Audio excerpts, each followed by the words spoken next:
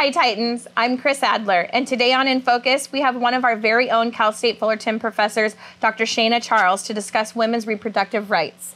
Dr. Charles teaches in the Department of Public Health and worked as Director of Health Insurance Studies with nine years as a Senior Research Associate at the UCLA Center for Health Policy Research. Specializing in politi- political issues surrounding healthcare reform at both the state and national levels, Dr. Charles has dedicated her research to focusing on expansions of health insurance and its impact on access to care. Dr. Charles, thank you so much for being here with us today. We really appreciate it. And can you just give us a little bit of background on who Dr. Charles is and where you grew up? sure. So I, am a California girl. I grew up in San Diego, went to UCLA um, to get my degrees. And while I was there, I also worked there at the Center for Health Policy Research, as, I, as you said. Um, and uh, I got my master's in public policy, bachelor's in political science. So that really started me in thinking about this world of politics. And then I ended up getting a PhD in health services in really health policy because I found out that that is where you can help millions and millions of people at once. Uh, when I was getting my degrees, it was the Children's Health Insurance Program. Now it's, uh, you know, the Affordable Care Act, which people might know as Obamacare. Um, I also do work with the California legislature, uh, where we, um, as part of a team of other researchers, I analyze health insurance laws that are going through the mm-hmm. legislature so that they know the impact before they vote on it and they're thinking about it. So I really like to have this very applied focus in my work and make sure that what I do actually makes an impact in the real world with legislators, the public, students, anyone needing it, uh, using this work to be able to, you know, improve lives for everybody. What do you feel has been the most rewarding aspect of working in public health, but at the university level? So, it, you know, I love being here at Cal State Fullerton because we have uh, such a diverse student body and a student body that is made up of people who are not only many of them the first in their family to go to college right we have the most we have the majority of our, our campus has that status but also people that are going to be leading california in the future i mean if you look at things like the current legislature our current assembly member who represents our district went to Cal State Fullerton. Our city councilman went to Cal State Fullerton. The Speaker of the California Assembly went to Cal State Fullerton, right? And I mean, even in, in 2019, when Joe Biden was ramping up to his presidential campaign, he came to Cal State Fullerton. I mean, this campus really has such a, a major impact. And so I love being able to work with the students here who are going to go on in the rest of their lives and, and have that impact, but also uh, you know, the, the, departments of public health here are very active. Our Orange County Healthcare Agency, which um, people have really gotten to know over this last year or so, um, you know, they they're very active and interested in public health, and it's just been a, a, real joy to be here. This is my seventh year here on campus. And it, it does seem that you know, being growing up in California, like you did, I grew up in California as well. I've always had those liberties and those freedoms that California Democrats, um, you know, push for. And well, it's really interesting that you say that because I'm in my mid 40s and you look much younger than me.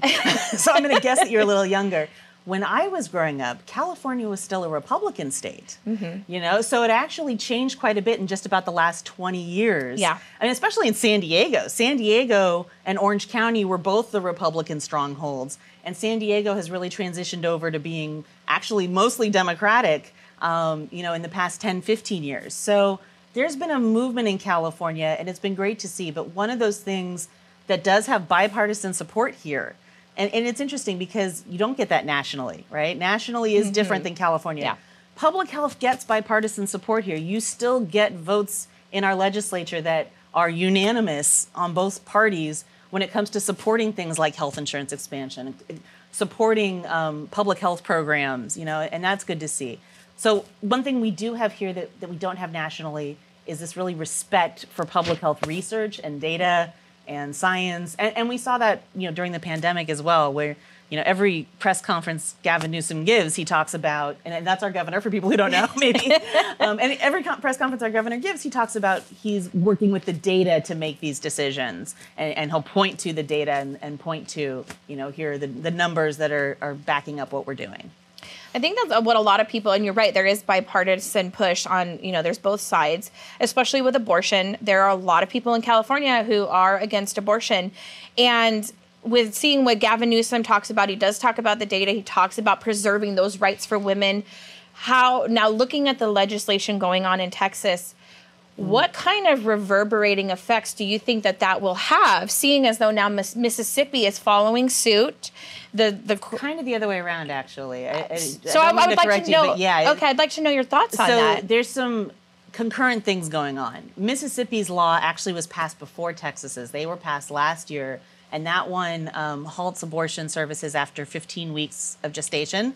And there seems to be some confusion out there. We have kids, we were talking before. Yep. Both of us mm-hmm. know this, but for people who don't know this, because honestly, it was something I didn't even know till I got pregnant myself, that the second you find out you're pregnant, you are probably already at least five weeks along because they start mm-hmm. counting it from the date of your last period. That's right. So it's actually impossible to be two weeks pregnant, three weeks pregnant. That exactly. You mm-hmm. missed your first period, you're already five weeks. So saying six weeks is like, oh, they might not have even known because you don't even some some women don't even take a pregnancy test until yeah. eight weeks until they've missed a whole period, ten weeks. You know, so just wanted to clear that up.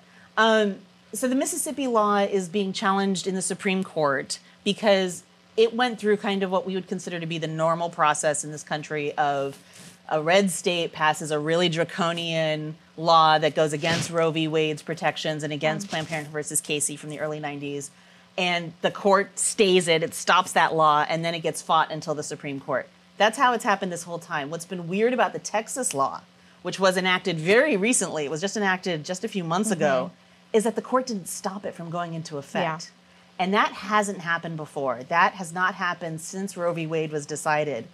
And this is where we have the change in the Supreme Court making such a difference that the Republicans rammed through this last minute people in this country had already started voting for president but we're going to run through this nomination at the last second. Uh, it was so disheartening to see honestly the hypocrisy of doing that. Mm. um, and, and, as I, I, like talking politics so i could talk about that story later uh, you know if we want to go deeper into it. But having that extra vote on the supreme court who refused to stay the law was a huge change a huge change. And, and Texas's law is so draconian. And even the governor who signed it obviously didn't know what the heck he was doing because he, he thought, for some reason, he thought six weeks pregnant meant six weeks after you missed your first period, which is actually 10 weeks pregnant. So the people yeah. doing the legislating That's exactly don't even point. know enough yeah. medically to know what the heck they're doing. So what are they doing getting involved when they when when a person like that is trying to make such an important decision on women's lives but he doesn't even know the basics and the simple about the timetable of pregnancy. Right. right. So there's, I, I think there's something to be said about that. It, it's what are they doing? Why? why what, what is going doing? on? You know, so in public health, there have been decades of research on what actually works to reduce the number of abortions, and what actually works, what will actually bring that number down, if that's what you care about doing, are empowering women to have more reproductive contraceptive choices for free right? Taking away that barrier to access to care and making sure that that is universal, you know, to every woman. That's how you actually reduce the number of abortions because when women have the choice and the freedom and the access to be able to get, let's say, birth control pills, over the counter contraceptions, and they don't have to go back every single month that mm-hmm. you can mm-hmm. go and you pick up 12 months supply at once like you can here in california yeah. because of a law that was passed about five years ago um, when you can do that and you have your own choices then women don't need to end up having an abortion because they've already made the choice about when they're going to be able to have children or not that's how you actually do it if what you really care about is helping people so, what the Texas law is about, because Texas, by the way, has some of the worst health insurance rates, they don't give people health insurance that we get here in California. So, like in California, we get Medicaid under the Affordable yeah. Care Act expansion, mm-hmm. right? And many, many students are on that. Um, as a single person who makes under the required level, you get free or, or very low cost health care, health insurance. And in Texas, they don't. So, whereas we have about 8% of our population uninsured, they have about 20 something percent uninsured. That's big. So, so you're saying if you really care about the the killing of these babies and you want to prevent the abortions which as the, the phrase they, they use as, right? which is let's clarify this is the phrase they're using right. yes and you want to prevent these abortions then what about some healthcare reform then? Give Right. these women access to birth control, well, which will and health- ultimately reproductive and, and reproductive health Right, care. you support Planned Parenthood. but they you don't, support oppose- out Right, there in so- Texas. It's much more rigid. Right. So what? Uh, right. So what ends up happening is this draconian. Well, we're going to say you just can't do this service, this reproductive health service, and we won't give you all the other things too. It's basically it ends up being a situation of forced pregnancy, where you are forced to have a pregnancy that you don't want to have. And by the United Nations Human Rights Abuse Charter, forced pregnancy is a human rights abuse.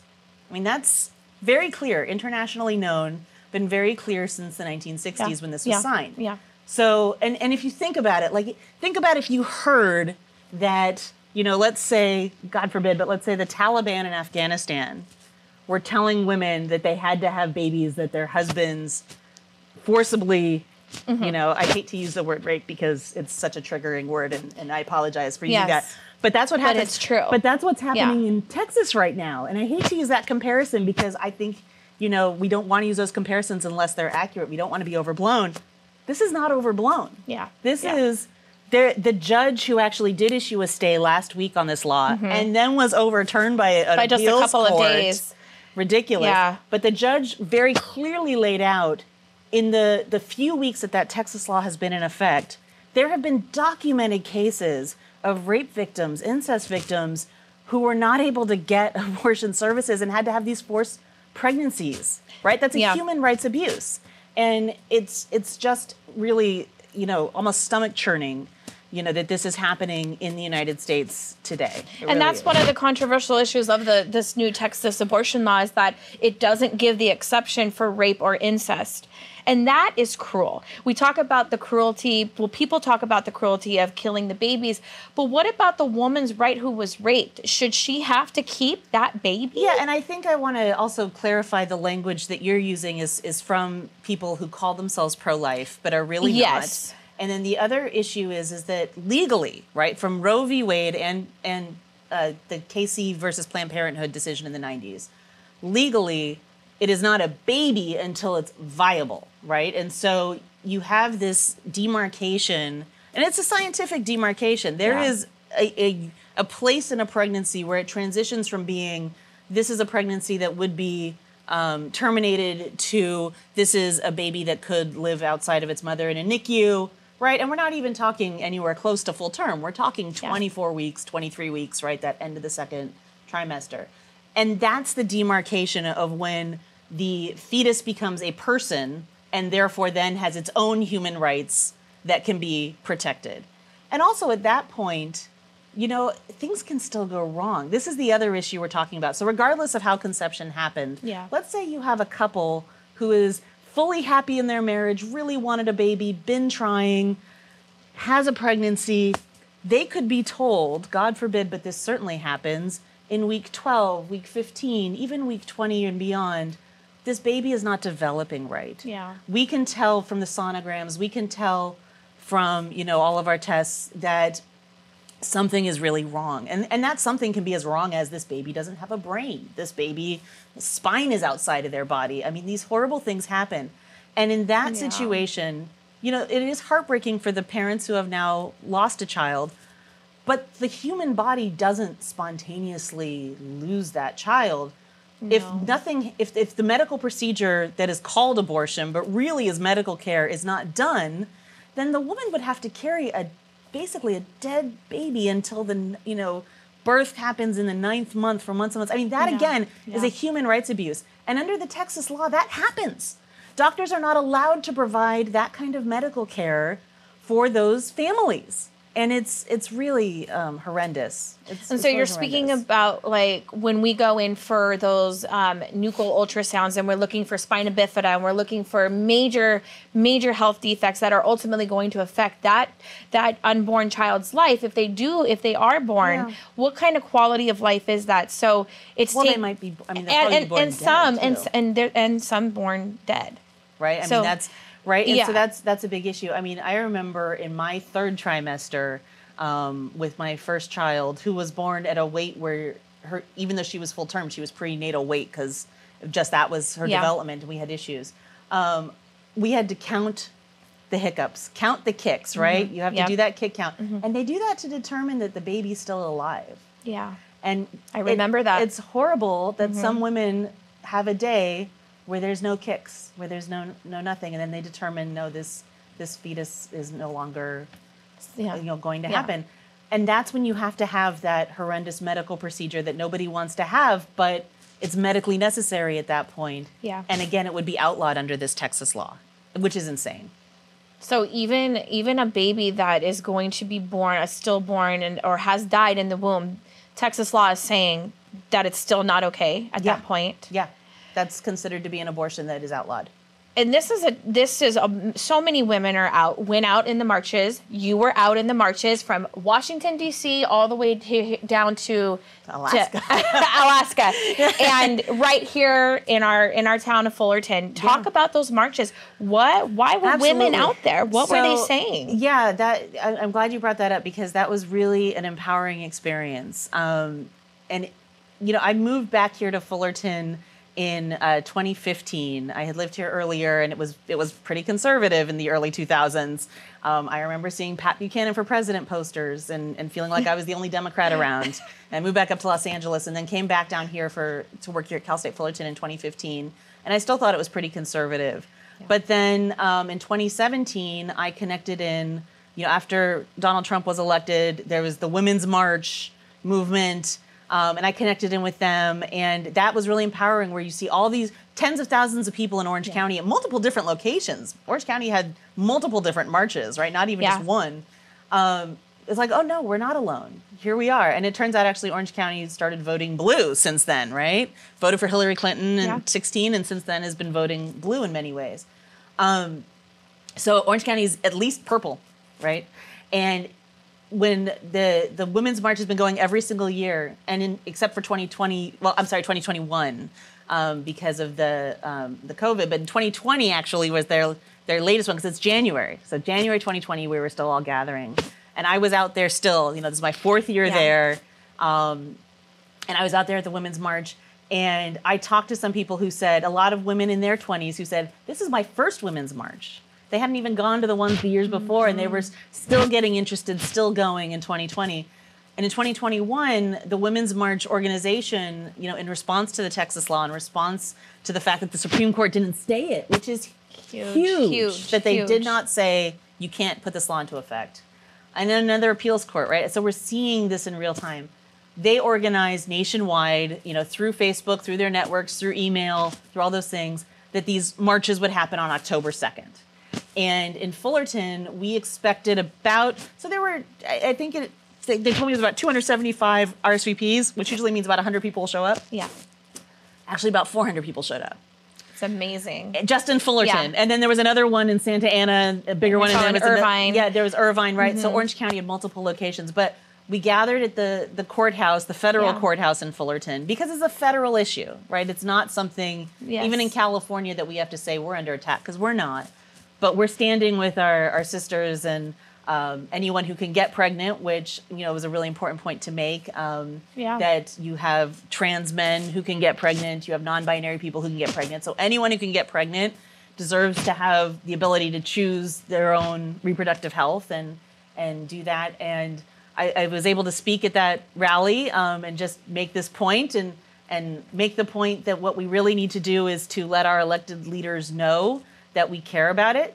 Um, there is a bill in Congress right now called the Women's Health Protection Act that would enshrine the protections of Roe v. Wade into law, that would outlaw things that some states are doing right now, even less than what Texas is doing, right? Because Texas is way off the charts. But even some states have laws that say that you can establish if you are quote unquote pro life, they call themselves that. I do not call them that. I really think they're anti women's health care when you you can establish what you call a pregnancy center and then lie to women about their rights. Um, that's outlawed here in California. Other states are allowing it. The Women's Health uh, Protection Act would outlaw it nationwide. Being able to do that, right? Wow. So that has to be. That's it's kind of scary that that has to be put into federal law, but it does. Um, it has actually passed the House, but I will say, very disappointingly, that our Fullerton representative, um, Young Kim, uh, who she is a, a woman. For people who don't know Young Kim, um, she is a, a local representative here, um, worked for Ed Royce for many years, who was a Titan as well. And for many years, Ed Royce had a conference here on supporting women and empowering women. And he was a you know more moderate member of Congress. Yeah. Young Kim voted against the Women's Health Protection Act. And Wow. I was really disappointed to see that. Um, I'm sur- I I did I wasn't aware of that. I'm surprised. yeah, Wow. it, it was really, really disappointing because I mean she is representing a, a purple district and Yeah. a district that includes Cal State Fullerton and includes um, all of us who want to protect women's reproductive rights, and she voted against to protect it for the rest of the country. Yeah, Um, so that's- that's yeah. surprising to me. Um, and hearing you hearing you speak about this, you use the term women's reproductive rights. There's a bigger picture here. This isn't about killing babies as the pro-life uh, people are calling it. There's a bigger picture here. There's much more at stake and much more in danger. So. If Roe v. Wade were to get overturned, what would that mean for You know, people? I'm really glad you brought that up because you're right. It, it is a bigger picture where Roe v. Wade established this right to privacy that included abortion, but also included things like LGBTQ rights to Yeah. marry, right? So the Roe v. Wade decision led directly to the Obergefell decision um, that established the nationwide right of, of uh, I, I should say, any couple um, Yeah. who wanted to marry of any gender and any sexual orientation to marry. And so if that if Roe v. Wade gets overturned in its entirety, that could have repercussions for other things as well. And you're right. I, I, I do use the phrase women's reproductive rights, but I think you're absolutely correct that we're talking also about men's reproductive health, Yes, right? yep. I mean, men have the right um, to have make their own medical decisions and to, uh, you know, have their control over their own bodies. Um, for example, and this is something honestly I would actually encourage people to do as I've seen it used effectively as a family planning thing, and I don't think men should be afraid of it, is that men, if you know that you are not in a place where you want to have children in your life, you can have that vasectomy. In fact, they even offer them over at the Student Wellness Center. you can have that vasectomy and get it reversed later and That's very right. successfully That's have right. children with no issue when you're ready to do so. That's a Um, great point, and you I really appreciate you bringing that up. I don't think I think most women don't realize that, and but definitely most men don't realize that, and it's it's absolutely uh, an option for them. Yeah, I, and I think people in general need to be, you know, thinking proactively about their own situations in life. I mean, certainly we know sexual health is very important, um, not just for you know STD prevention and healthcare, but also thinking about you know how uh, family planning works in your current life situation and current relationships, and just thinking about that and, and being conscious about it is a way of taking control over your own life and your own destiny in a way that um, is, is emp- empowering for anybody. I think two key elements to this are so important, and it's education and access to healthcare. Absolutely. And we give we and if Texas were to give their citizens access to el- to healthcare, then there would be a, an exponential re- reduction in those abortions that that are happening. If they don't have access, what what are they left to do? Exactly. So, you know, let's look at California as the alternative example. Here in California, we, you know, have implemented the Affordable Care Act, so we've expanded health insurance already, right? So our health insurance rates are very high, which means that for everyone who's insured, you get free, reprodu- you know, free birth control, um, over-the-counter birth control, contraceptive care. All of those things Yeah. are for free. We've also enshrined into law that those things are offered for free in the state health systems, which includes the Cal State System Student Wellness Center. So, our own Student Wellness Center on campus, and again, we have 40,000 students here, most of whom are in reproductive Yeah. health age, right? Maybe not everybody. I've taught a few people in their late 50s, but uh, pretty much everybody. Um, the Student Wellness Center offers not only free o- contraception, over the counter contraception, um, but also, as we, we mentioned, the vasectomy services, pregnancy tests, morning after pills, all those things are offered through the Student Wellness Center. And right before the pandemic hit in January of 2020, they signed into Governor Newsom signed into law a new law that will make the medication abortion services available on campuses at- through the Student Wellness Center Wow. um, by January 2023. So they're working on implementing that right now, but it's not that far off, right? No. I mean, January 2023. Um, and the medication abortion is good for up to 10 weeks. Um, you know, it's it's just one of those things that makes it so you don't have to have a surgical procedure later. It's, Yeah, it's yeah. you know, makes it easier to do. So you know, we're expanding healthcare. We're working on expanding access, and we see our numbers of abortions going down. Well, it makes because, sense. I mean, it, yeah. it makes sense. Right. And I have to ask you this uh, for the people who are claiming or who say that they're pro life, are late term abortions, in your opinion, are those cruel? So, the, you mean the bans on late term abortions, or, or the Yeah. abortions themselves? The cruel? abortions themselves. So I really feel like, you know, the, the, the example that I brought up earlier is the only reason why people would choose to have one of those third trimester abortions. When you look at when third trimester abortions are not outlawed, as they are in many states, but like in California and other states, they aren't outlawed, they are medical decisions Yeah. people only do that in the most extreme circumstances when the life of the mother depends on it. It's not something Yeah, because at that yeah. point, you know, even if I mean these are people that have been pregnant for all this time, you know, they've picked out a name already, they're um, you know, they're already planning on having this child and then they get this horrendous medical news because you know even if you get the medical news let's say that the mother has a condition and that the baby needs to be born early to help the mother. Like in a situation Yeah, of let's say yeah. twins that happens quite often. If you have twins the babies are born by cesarean section usually around 30 weeks.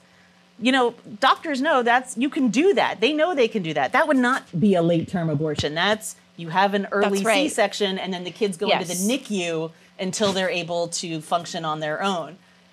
The only reason why you would actually do something that would be c- considered to be a third trimester abortion would be this is a fetus that is already, as we mentioned, through Yeah. all those horrible Yeah. situations, not viable for whatever reason. And sometimes those reasons are as severe as this child doesn't have a brain. This child's spine is outside of their body. I mean, it's, or this child's already dead, and you have to have this quote unquote abortion procedure just to evacuate the uterus. You know, I mean, in those those situations. So I would say Yeah. preventing that from happening is cruel.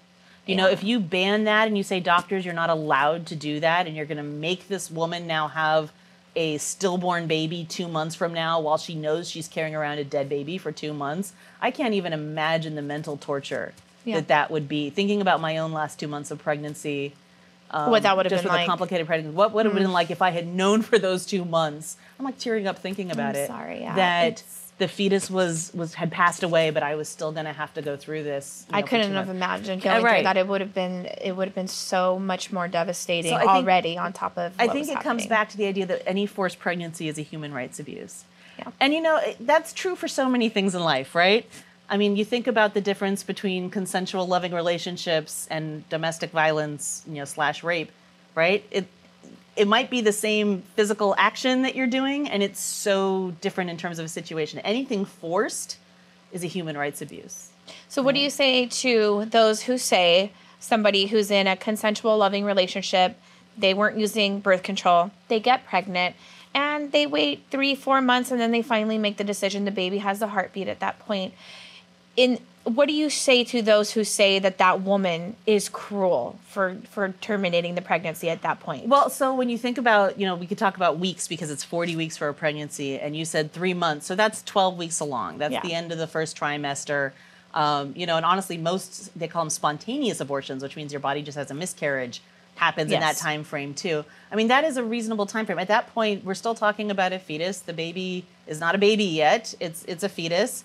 And if that woman decides that her situation is such that this is not possible financially, emotionally, for whatever reason, then it's her right to do so at that point. This is not, you know, to me that's that's not an issue, regardless of if you're in a but consensual loving relationship or the not. woman should be able to make that decision for herself. Make that decision whether or not it's the right time for her to bring that child into the world. Yeah, absolutely, absolutely. I mean, it's it's again a woman's own right to be able to determine um, her reproductive future and all of these things. And you know, it, it, isn't a viable child yet, right? We're not talking about 30 weeks along, obviously, right? yeah.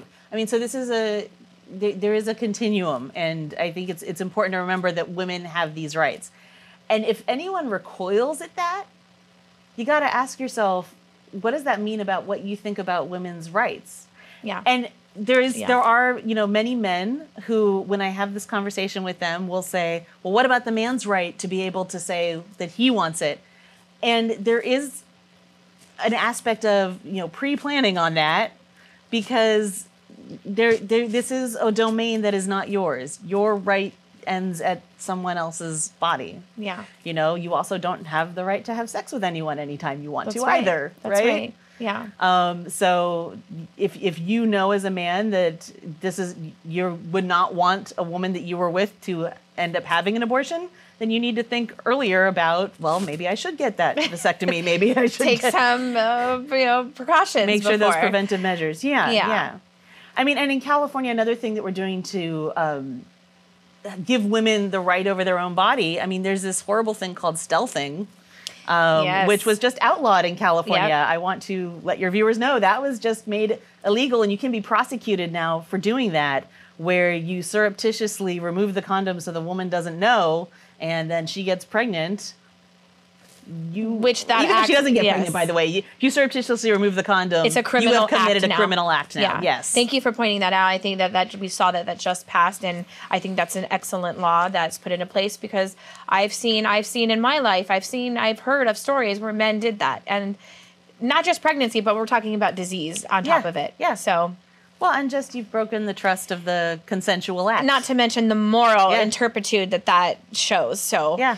Um, so bottom line, we are talking about a bigger picture. We're talking about robbing women of their personal rights, their human rights, constitutional rights. There's a greater, a bigger picture going on and to be seen here. And if if Roe v. Wade gets overturned, could we potentially see other states following this? Oh yeah, absolutely. I mean, when so 11 states already have laws on their books that say if Lo, Roe v. Wade is overturned, then we immediately outlaw abortion. Done. It just immediately goes into effect. Right away. It, it's it's scary to me, and you know, I think so. We talked a little bit off camera before about how California, or we talked a little bit about California has changed over time. That that was earlier, Yes. right? So thinking about the rest of the country, I would not be surprised if this were the point where the rest of the country changes over time to, you know, put the Republicans out of power. So here in California, the Republican Party, because of um, changes not only in reproductive issues, but also in things like Prop 187, which was targeting uh, Lat- Latinx people and uh, you know issues about really targeting uh, you know people's human rights in that way. Um, the Republican Party is actually third, a third party status, not even a second party anymore. The Democrats' registration is about 50%. No party preference hmm. is bigger than the Republican Party in. A lot of people California at this point. point that out. Yeah. Yeah. So I mean, they, they really made themselves into lower, lower status, and we might be on the verge of seeing that nationwide, where the Republican Party has gone so extreme. Yeah. And you know, we see what that's done. We see what that's done with the judiciary. We see what that's done with the laws that they will enact with the legislatures and the governors.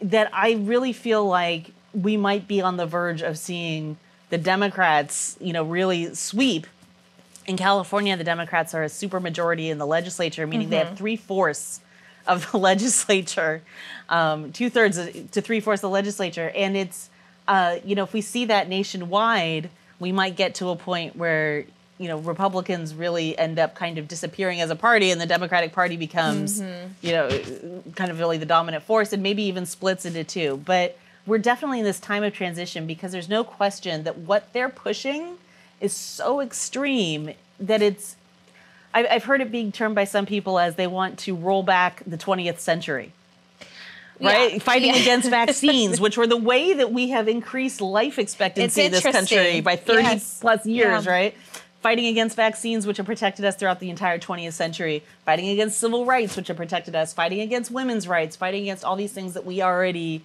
fought for and created you know throughout the entire 20th century i don't think this country wants to roll all that back Well, I, I'm, I'm curious to know what your opinion is on that because I've noticed Republicans will say we're pro life, we're pro life, but you're not pro women's choice. What about the life of the woman who is alive and here? Yeah, or absolutely. what about the children and and the, the the migrants who are, are are seeking refuge and coming here? What about those lives? You're pro life, but the lives that are here, it seems that you're not really pro life. Well, I think maybe we could just stop using that term then. I mean, Yeah. you know, So some, if someone it? calls themselves one thing and you don't agree with it necessarily. Like a, a white supremacist calls themselves a patriot, I'm not going to call them a patriot. I'm going to call them a white supremacist. That's right. You know, That's that's right. what they Yeah. are. So I mean, I that's why I say I don't use the term pro-life. I use anti-women's health. I mean, so what do you think it comes health. down to? What is it? What does it come down to? These radicals that are trying to overturn years and years and years of legislation that have actually helped Americans. What does it come down to? What? Why are they doing this? Well, you know, so you said legislation there, but I think it's, I, I want to point out it's actually a lot of court decisions because we couldn't get the legislation. We need the legislation. Yes. And again, we've got that bill in Congress right now that's passed the House. And if it can pass the Senate, Mm-hmm. Joe Biden will definitely sign it. And then it would be legislation, and that would be really helpful, right? So um, we need to, to work on that. that would be great. yes. Um, but why? You know, it's hard for me to understand because uh, I've been in public health for about 20 years now. And when I work in California, it is bipartisan. Yeah. You know, and I mean, in the mid 2000s, I was working with Governor Schwarzenegger's office about expanding health insurance in California. And we actually would have had the Affordable Care Act, Obamacare, here earlier um, than na- nationwide, except it, it ended up being killed in the legislature by people on the left who thought it didn't go far enough. Oh. Yeah, I mean, so. California has such a different dynamic. So it's a little hard for me to understand because I will say in California, I am able to work with people on, on both sides of the aisle. And, you know, we, we have agreement Yeah. that what we want to do is protect human rights, and, and that's helpful. Uh, nationwide, that doesn't seem to be the case. And I do feel sometimes like it's a little bit like beating our heads against a wall. Yeah. But I think what's going to need to happen is really just you got to change the people that are there. When you look at some of the people in the Senate, they have been there for 30, 40 years, right? We need to change some Yeah. of those people, right? We need new blood. Um, Yeah. and, and I'm not necessarily talking about California because we've had that same commitment, but I mean, talking about some of those, you know, Republican state Yeah. senators, um, hopefully will get changed over. Um, and, and in the House, we need to have a greater majority in the House so that, you know, if we end up having um, a president who vetoes, we might be able to overturn it. You know, I mean, right. so, a- and, and we just need to make sure that we really care about elected officials and who's actually holding those offices of power, that they're people that are going to protect the things that we care about. We can't assume that they will. We can't assume it. You have to ask them straight out, what are your positions on this? And hold them to that. Hold them to it. I mean, like you said, you know, we're surprised that Young Kim voted against it, right? Yeah. And, and I am too. Yeah. But, you know, that's something we could have asked her before electing her. That's a great point. And now we can hold her accountable next fall. She's up for election in That's November. right. Right? And So if, if get out there, people. care- if this is what you care about, then don't vote for somebody Yeah. that's going, you know, even though she's female and, you know, she talks about promoting women, it turns out when she votes, she votes against women's the Women's Health Protection Act. And so hold her accountable for that. Don't vote for her again. You know, I mean, th- that's the way we have to do it is over the next few cycles, really care about who you're voting for. This is an issue that's important to you. Make sure the people you're voting for will fight for it too. Yeah, getting out there, getting active, and getting involved in it if you truly care about it. Yeah. because that's the that is the one way as Americans we have control over it. Well, that's the point. Politics is supposed to be where Yeah. we make our viewpoints known. And we're at this point right now where politics has been kind of hijacked by a minority extremist group. And in part because the electorate hasn't paid as much attention. yeah. And you need to pay attention to local races too. Local races are really important. Yeah, You know, you've got your city council people, you've got your your county boards of supervisors, right? We found out during this pandemic time just how much power those people have. And if you care about things like we want to make sure that we get vaccine clinics out there, and we want to make sure that we get mask mandates if they're needed at certain points, or, or people that are going to care about public health, then make sure the elected officials you vote for are the ones who care about public health. Yes. Well, Dr. Charles, it has been so refreshing and such an honor having you here with us. Thank you. Um, I could spend hours talking to you, and it's been so informative. And we really appreciate you going out and fighting for women's rights. As a woman, I have to say thank you for doing that. Well, it's just Um, part of caring about access yeah. to healthcare, And- right? I mean, that's the point. and human rights. And, Absolutely. And so, so thank you so much. We really do appreciate it. And women have been fighting for their reproductive rights for decades. And with this being such a controversial topic, it's important for us to talk about how it affects both sides. It's, it's certainly not an easy discussion to have. So we want to thank Dr. Shana Charles again for her thoughts and her expertise for sharing that with us. I hope at the very least this gives you all something to consider as we watch the courts make these life changing decisions for women in our nation. Thank you for being here with us today on In Focus. I'm Chris Adler.